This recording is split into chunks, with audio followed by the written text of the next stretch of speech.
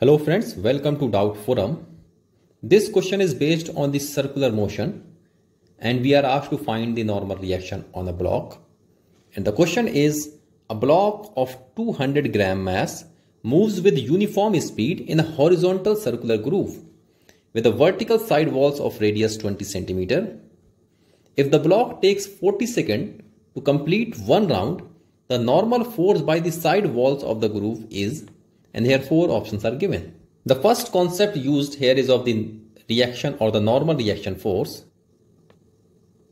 Normal reaction force is a kind of contact force. Whenever there is a contact between any two surfaces, there would be a normal force created by both the surfaces. So to understand it better, let's consider this to be a block and this block is lying on a horizontal surface. As we can see that there is a contact. So whenever there is a contact, there would be a normal force.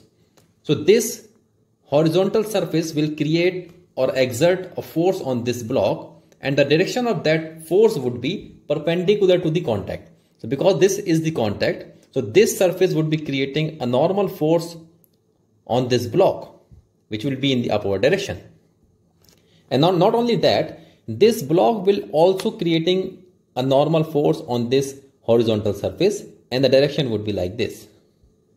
So these two would be equal in magnitude but opposite in direction and it will always be perpendicular to the contact. And suppose there's a this block is lying on a, this kind of surface. So here we can see that there are two con two contacts. The first contact is between these two surfaces and the another contact is here.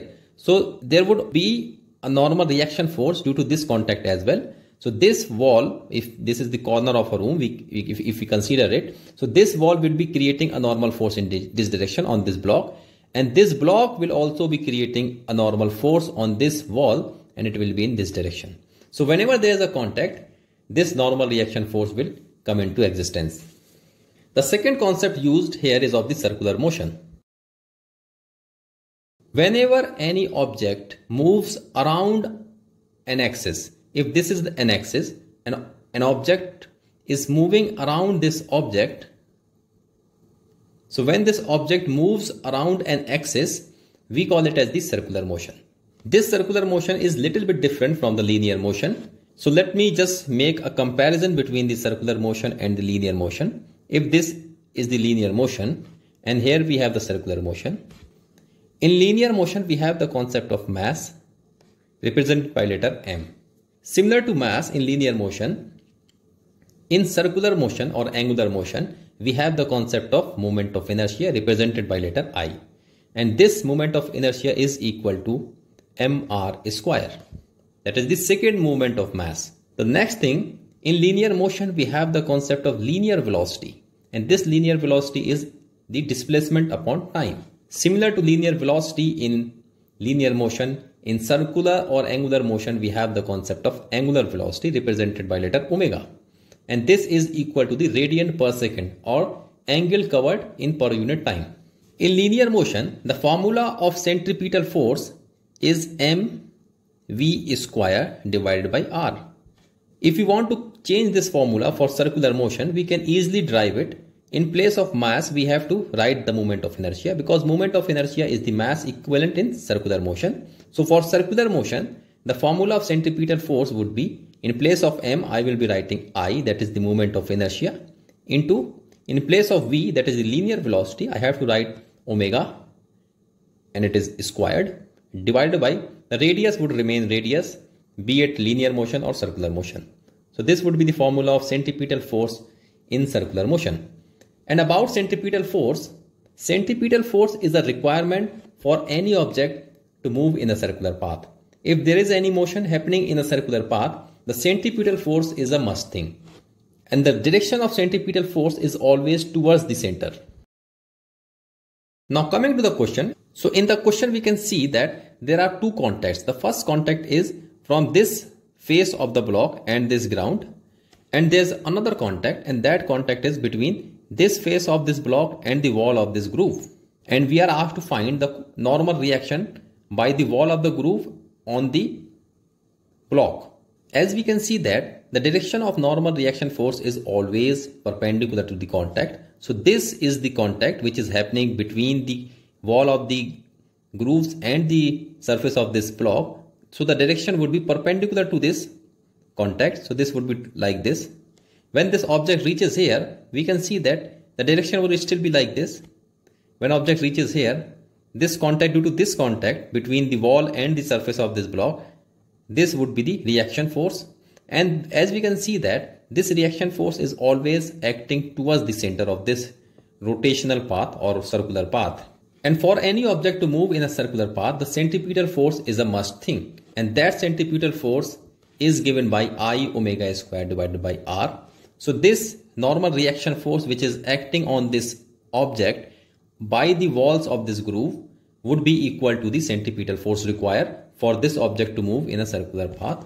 So that normal force would be equal to the centripetal force Fc and the formula for centripetal force is I omega square divided by R. I have just derived it. So this is equal to I that is the moment of inertia into square of the angular velocity divided by radius of the circular path. This I is nothing but mr square that is the second moment of mass into omega square divided by r. So this would become m, 1r and r get cancelled, mr into omega square. This is the normal reaction force on this block due to the walls of this groove. So we are asked to find the value of this. The mass of the block is given as 200 gram. So that 200 gram would become 0.2 kilogram Radius of the circular path is given as the 20 centimeter. So this 20 centimeter would become 0.2 meter into omega square. The value of omega is not given to us, but it is being told in the question that this block is completing one round in 40 seconds.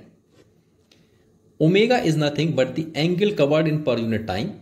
The angle covered by this block during one round is 2 pi because 2 pi radian is the angle covered in one round. So this is 2 pi in 40 seconds. So this is given. So this way the value of omega comes out to be pi by 20. So we can put this value of omega here. So this would be pi by 20. We have to take the square of this because in the question the formula is of omega square. If we further solve it, this would become 0.04 into pi square divided by 400 or this would become pi square divided by 10,000.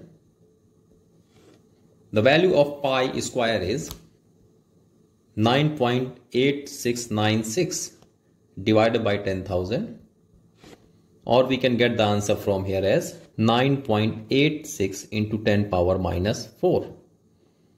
The unit is of Newton because normal reaction is always a kind of force. And if we match our answer with the options given, so option number 4 would be the correct one. So let me quickly revise this question once again. In this question, we are asked to find the contact force or the normal reaction force on this block due to the wall of the groove. So this is the first concept used. The second concept is that this object is moving in a circular path. So for any object to move in a circular path, the centripetal force is something which is must. The direction of centripetal force required is towards the center and as we can see that the normal reaction force on this block due to the walls of this groove is acting towards the center. So this normal reaction force which is created by the walls of the groove will be providing the appropriate centripetal force required in required for the movement of this object in a circular path. So the normal reaction force would be equal to the centripetal force. The formula of centripetal force for circular motion is I omega square by R. The moment of inertia is nothing but the second moment of mass that is mr square. So from here the, the final formula is mr into omega square. The value of mass is given as 200 grams so we will be converted it into kilograms. The radius of the circular path is given as 20 centimeters so 0.2 would be in meter. The value of angular speed is not given but it has been given that this object completes one round in 40 seconds. One round means 2 pi because in one round there are 2 pi radians in 40 seconds. So from here the value of omega or the angular speed is pi by 20. So we are just simply putting the value of omega as pi by 20 and square of that. From here, the, the final value comes up to be pi square divided by 10,000. The value of square of the pi is 9.86 divided by 10,000. This 10,000 is nothing but 10 power minus 4. So the final answer would be 9.86 into 10 power minus 4 Newton. So this would be the our answer. So thank you for watching. If you have any doubt, please let me know in the comment section and don't forget to subscribe to our channel Doubt Forum. See you in the next video. Till then, take care. Bye bye.